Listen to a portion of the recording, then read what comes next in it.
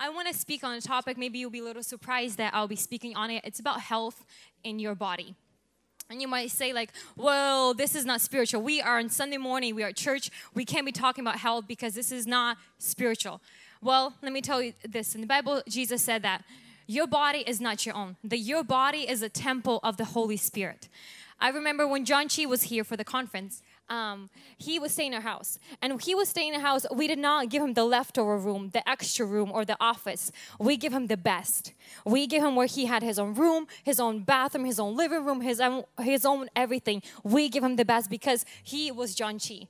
But Jesus said that Holy Spirit doesn't have a body because his body is your body. Therefore, you have to realize and have a revelation that my body is a temple where the Holy Spirit dwells. And you have and you have to give him the best of yourself. And I just wanted today just a basic tips how do you take care of your body? How to take care of your body that you will have the energy, that you will not have to drink energy drinks, that you don't have to put in all that caffeine in your body that dehydrates your body. So, number one is make it priority and you're like, I don't have a time. Everybody has 24 hours a day. If Obama president can exercise, so can you. You just have to make time. And if it's important to you, you will find time for it. And you have to make a priority that my body, I have to take care of my body. Nobody is going to take care of your body for you.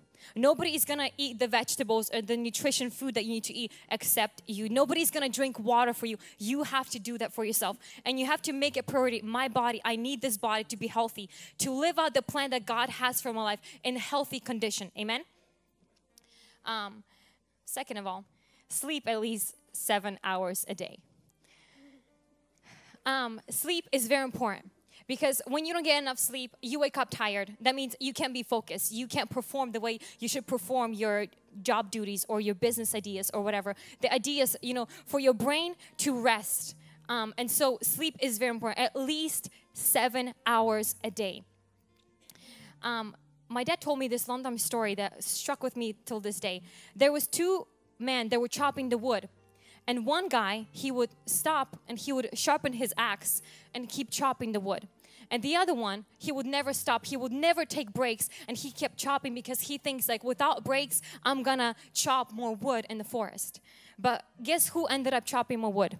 The one who took breaks, who sharpened his brain, who sharpened his axe because he was focused, because his axe was not dull.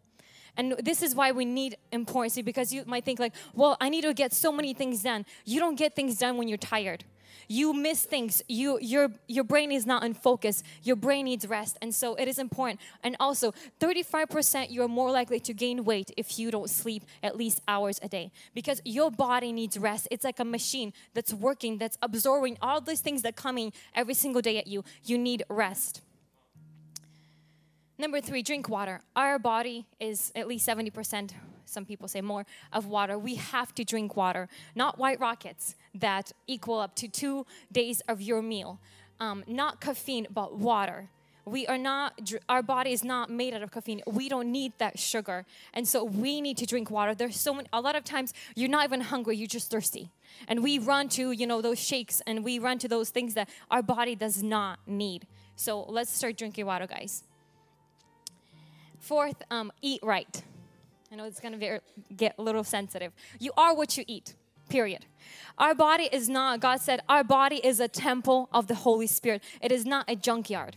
It is not a garbage can. We cannot be eating junk food because when you eat junk food, junk food doesn't have nutrition. So you always craving and to eat and to eat. But when you have a proper nutrition, when you wake up early and you have breakfast, you are full you are fed and your body has the energy and has the nutrition to go on the whole day.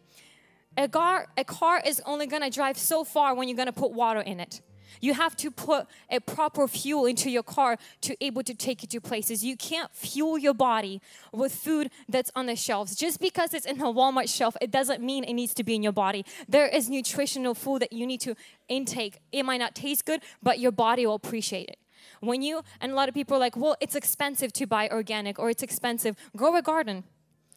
Um, but when you paying um, for you know buying your dollar menu food or stuff like that and you think you're saving money you have to realize later on in your life you'll be paying those money to doctor's office to fix with a cheap food damage your body. So invest your money into food because health is expensive. Fifth one is exercise this is not and you like exercise is not for me. I don't like it. Um, i'm not calling you out to be a bodybuilder. Um, if you have a calling on your life then god bless you. But exercise is a simple exercise. Take a run around your block. Um, park your car farther on the parking lot so you can walk to work. Um, exercise and you might say i don't have time. You have time.